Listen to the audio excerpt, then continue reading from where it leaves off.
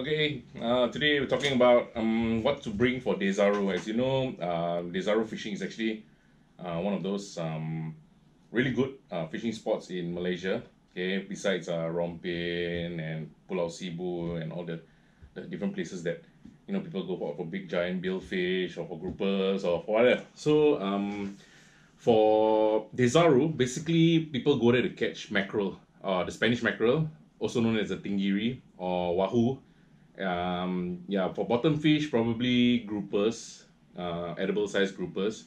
Uh, basically, in Malaysia, everything is edible. Uh, yeah, you can even catch a small grouper and it's edible. Big grouper is edible. Everything is edible. Um, queenfish, um, diamond trevallies, golden trevallies, uh, cobia, cobia, cobia one of uh, those fishes that you can catch. Uh, you can find in Desaru, and probably sometimes you can even catch like those uh, hybrid marlins those those are juvenile marlins and yeah. So Desaru is actually a place where you can catch a lot of a lot of different species of fish. So uh, if you are wondering what to bring when you go to Desaru I've got a list of items here that I have which I usually bring for Desaru so um, so as I could target most of the species of fish okay? So basically for for Desaru I'll start off with um, wait, should I start off with the items or should I start off with the rods and reels and the more okay let's go with rods and reels first. Okay for Desaru we have um, let's say the boatman tells us oh uh, it's good for bottom fishing. Bottom fishing is basically fishes that are at the bottom. Duh. And um, top fishings uh top fishing probably basically are all those pelagic fishes. Okay but for Desaru top fishing not much of like, mackerel uh, not much of like sailfish and all this uh. you might get some if you're lucky but chances are probably is quite difficult. Uh. So we'll start with bottom fishing. Okay, for bottom fishing, I like to fish slightly heavier than uh, the regular Singaporean fishermen. Singapore fishermen usually go for um, arging kind of fishing where edging uh, where you just drop a 1.2 P 1.2 rod in and you just try to catch a big fish but I don't really like that because I, I don't want that one fish to get away so for usually bottom fishing I always go with 2 to 4 so my 2 to 4 setup is um, this Penn Battalion rod. It's actually quite a good rod. And it's only, uh, I bought it in Australia for $79. Penn Battalion, yeah, 2 to 4 rod. Okay, and what I fixed with the rod is basically my my well loved, I love I love this reel, Penn Spinfisher 4005. Okay, it's a bait runner. So, um, believe it or not, I use this uh, 4005 to catch sailfish too yeah I use this for sailfish I use this for mackerel Spanish mackerel and I just use it for bottom fishing usually and to let out live bait. Okay so uh, for this setup it's actually not not a very light setup but anything anything about probably 0 to 20 kg yeah I'm confident at bringing it up. Yeah Penn spin, Spinfisher with a Penn battalion yeah, I like to pair my rods with the brand too. Yeah. So the line I'm using is actually a Sufix 40 pound line with a 60 pound braid, ah, uh, 60 pound mono leader. Okay, I tie an FG to it. Okay, as you can see, it's already all tied up. Yeah. I use a longer leader because um, I used this for sailfish the other time and I the other time I didn't basically didn't catch any sailfish. That was in Rompin okay? Just a 40 pound line with a 60 pound leader. It's a normal uh, monofilament leader slightly soft okay?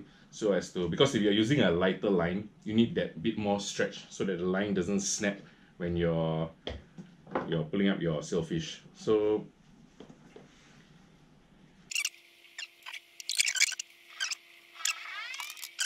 leader I'm using is basically a sure catch leader. It's a quite uh, well priced leader at uh five six five to six dollars. You can get it for 100 meters or 50 meters. Yeah, and it's um it's actually very very soft. It's not the strongest leader around, but um it works uh, for that price. And the reason why I use a two meter long leader is so that um, when I'm catching like a sailfish on my 40 pound braid, our 40 pound line, it doesn't snap the braid off because uh, sailfish, the first pull, initial pull, right, was uh, quite uh, quite a strong pull. Yep. So I'll be using I'll be using that for my mackerel fishing. Okay. And then for light jigging. I have a light jigging rod here. It's a PE one to three rod. It's actually a Daiwa Southeast Asian rod, and I use this actually quite often. Light jigging. It's very. It's a very light rod. It's the Daiwa Blue Backer PE one to three, and I pair it off with the Daiwa Saltis. I think I'm sure most of you know what the Daiwa Saltis. Yeah, the Daiwa Saltis is uh, actually a very very good reel, very strong reel, uh, and and I use a Daiwa J-Braid Grand 20 pound line, blue color on it. Okay, actually the color doesn't make any difference. Yeah, most of the time it doesn't make a difference when you're light jigging. Okay, but sometimes you know some people say that oh you got white line cannot see in the water, blue line, black line, red line. Yep. Okay, so the light jigging I use my Daiwa. It's actually a six foot something rod. A six foot six, six foot six. Yep had a, a very very it's not very um bendy it's just uh, quite stiff so I can use this for light jigging I use this for mackerel if you want to cast you can use this for casting too but you can't get the distance if you need casting you should get, you should get the casting rod okay so this is my light jigging rod the Daiwa blue backer with the Daiwa Saltis reel and for casting I always go with my oops I'm breaking the fan I'm always going with my seven foot. Right. Uh, oh, oh, shit. Yeah. Penn Battalion Ocean. Eh, no, sorry. Penn Ocean Assassin rod. Seven foot. This rod, the casting is amazing. Seven one two. Take a look. Seven foot one. Yeah, two piece. It's a two piece rod, so you can. Uh, I think I'll, I'll just remove that. But, mm. yeah, it's a two piece rod. The butt is very very slick. The rod is very very light. I actually like this a lot and I paired it paired off with my Shimano Stradic SW4000. For this for this reel, I'm using the Testline PE 1.7 30 pound Testline. Testline, uh, test, there's no in Singapore they don't sell Testline. You have to you order this online at Busted Fishing. So if you want, I I I left the link below in the description. So just go to Busted Fishing and then uh, you can order the line there. Testline is actually really really very strong line. Yeah, and later I'll show you what leader I use for this. So uh, for casting for mackerel and all this, you need actually a really good uh, light braid so you can cast further. Because if you cast further, you cover more water. You cover more water, you have higher chances of catching the fish. All right. Yeah. So uh, I use I use that. Okay, and it pairs really well. The Stradic is uh, relatively light and it's uh, quite a strong reel. Yeah, it's by Shimano. Okay, so that is for my casting setup. Oops. Before the day is done, I'm gonna break all my rods on the ceiling. And also, um, for my, sometimes when I like to do really extremely light jigging, I will use my Saltis Jerk Commander. It's a one piece, six foot, one rod. And then I will pair it either with um, with uh, my Shimano Spheros. Okay, it's a it's a new reel actually. I got this for Christmas, so I, I sometimes used to pair it, but it's actually it's quite heavy. It's like the BG. It's the it's the BG for Shimano. Okay, but if I'm going to for like more um how do you say? Uh offshore fishing and somewhere more prestigious, I will use the Axis. And the Axis paired with this uh, Jerk Commander it's very very light. It's the basically the lightest setup that I can ever find for a P2 setup. It's a P2 setup. Yeah it's so light that I think if you drop it in the water it'll float yeah but don't try it at home okay yes okay so that, those are all my setups for Desaru and basically um, what, what I'm trying to achieve is again I'm trying to achieve um, basically everything. If there's um if there's mackerel out there, I want to catch the mackerel. If there's cobia out there, I want to catch the cobia. If there's groupers at the bottom, I want to catch the groupers. If there's uh sailfish some swimming around, I want to catch the sailfish. Okay, so basically I want to catch everything in in Desaru. That's why I got all the setup from light jigging, zero uh, PE two, PE one to three, PE two to four. Okay. Anything above four, you might not want to bring that because uh, it's basically too big. If you want to cast the Saltiga PE5 rod in on the boat, uh, it'd be quite tiring. Uh. And and uh, I didn't tell you that Desaru is super hot when it's uh, when it's summertime. And basically it's summer all year round. It's super hot. And you need to uh, cast a P5 rod the whole day, it will actually tie you off within 10 minutes. Okay, so keep that for your big game fishing. Uh, just bring anything from 1 to 4 and that'll be good. Okay, so now uh, I'm going to bring uh, run through review the items that I bring to the Desaru. Uh, these items you you might agree and you might not agree. If you don't agree, just don't bring it. If you agree, then I'll tell you where to get it from. Okay, so some of my items that I have. Okay, basically I'll bring a set of hooks and uh, swivels and all the small mini accessories. My pliers, two line cutter pliers, ring this ring thing, this uh mini pink squid thing. I, basically I don't know all the names for this. This rubber tricks. A 70 pound leader. When my 60 pound leader on my battalion, let's say um, um it's frayed or it snaps, or I'll just change it to this because this one is a slightly more expensive leader and it's better. It's a Sunline monofilament 70 pound. Not too bad. Yeah. I'll bring a 40 pound uh, fluorocarbon leader and a 30 pound fluorocarbon leader. Okay, both by Shimano Ocea. Okay, don't forget the weights. I have a bunch of weights. I'll run through some of the weights that I use. Steel line. Okay, don't forget steel line. Steel line mackerel have really, really, really, really sharp teeth. You forget to bring a steel line, you basically be just tying your FGs all over again. Yep. Um, Dupont line. Dupont line is basically very, very, very super hard uh, monofilament lines. And usually uh, we use this for bottom fishing so that when, when you tie a paternoster or paternoster, the line comes out like that. So your bait will be out from the line. Okay, if you use a um, if you use a softer line, the bait tends to go down. Yep. So I'll just bring this just in case. And also some um, sabikis for catching your mackerel bait. Okay, mackerels they don't usually take prawns or they don't usually take shrimp or or other small like like baits or squid and all this. So they usually take live bait. Your chances of catching a mackerel on live bait is really really high. So we need to catch the live bait. That's the thing. Sabiki, the boatman will usually bring you bring you to catch the uh, mini uh, sela, yellowtail scats. Um, what others? Yellowtail scat. Taman. Uh, other, I'll just give you the, the, the, the name Taman Sela, and what's the other one?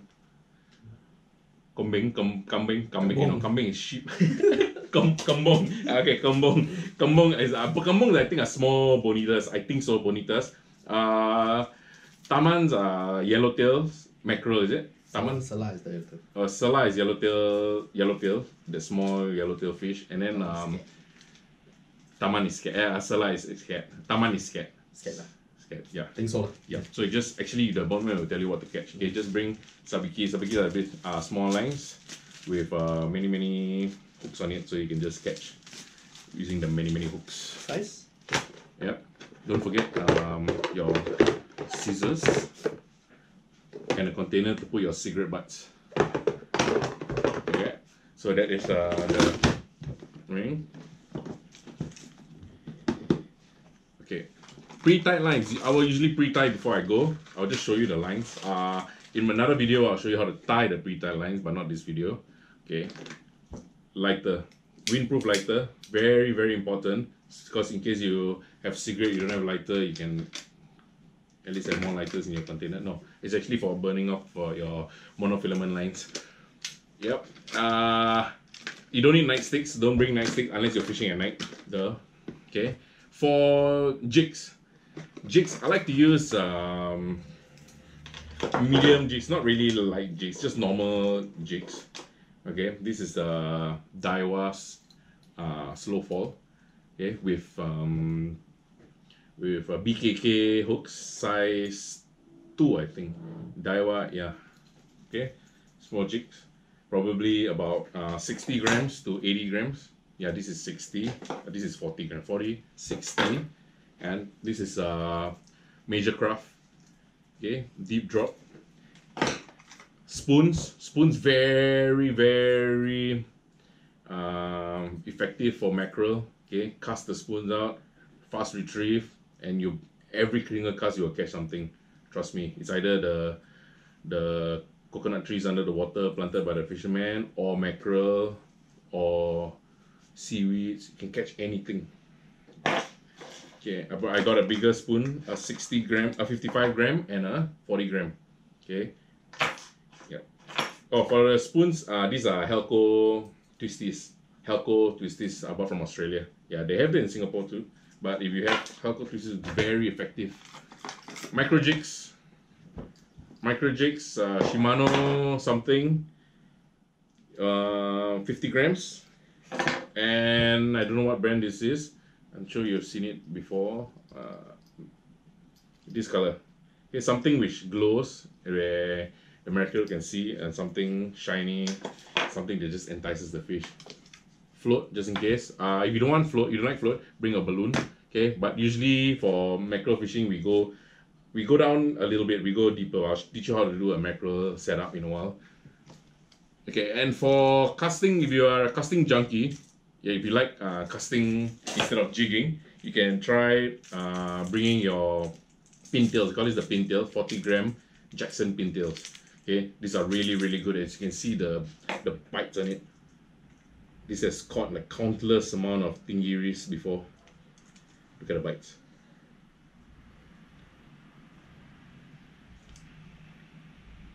Awesome.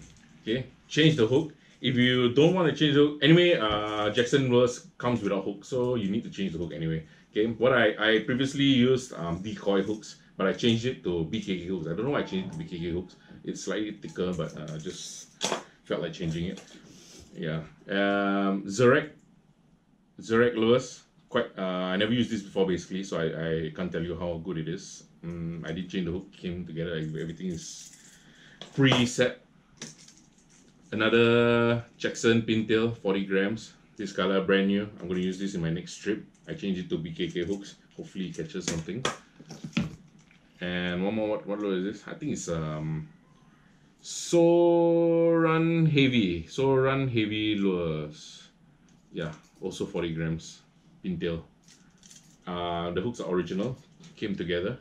Yeah so that's it. And just one uh, squid lure just in case the boatman decides, hey, down here, there's squid here, then you can just drop. There's a helmet for this squid, a 60 gram helmet. So instead of putting a weight above, they have the 60 gram helmet to help it sink further. Okay, if the water is not uh, too choppy, you can just drop it in directly. Yep, and this is my all the equipment that I bring. For weights, I'm not bringing all actually, I'm just uh, showing you what to bring, but these are the, the equipment that I'll bring. Okay, so for weights, uh, this is actually unnecessary, so um, don't need to bring this. This is actually uh, non-snagging weights, where if you, you hit against the side, okay, the side will come out, and then you release the weight. But I don't think there's much snagging in Desaru, no.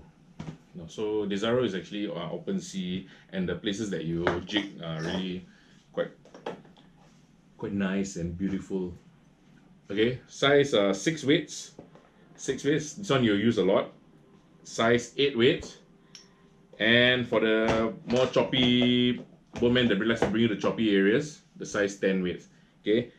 Usually size 6 will do. 6 or lesser. Sometimes you go down to size 5 size 4 but uh, if you're doing a PE 1 to 3 20 pound line 30 pound line size 6 will be just nice for for really most applications. Okay? For mackerel okay get running sinkers. Size 456 running sinkers. I like to get either ball or these diamond running sinkers what other kind of running sinkers do I do? Smaller ones in case the water is really too calm and the ideal situation you just have to use a small one okay? And then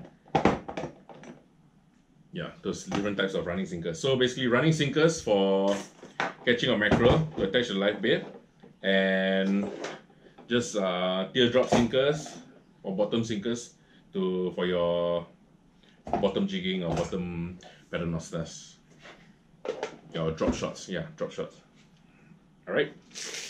For hooks, what I usually use are hook size 3, 3, size 3 and below, or sometimes size 4. Okay. Uh, all my hooks are Mustad hooks. This is a Mustad Ultra Point hook. Okay. Size 3. Size 4. Oh, actually this is size 4. This is size 3.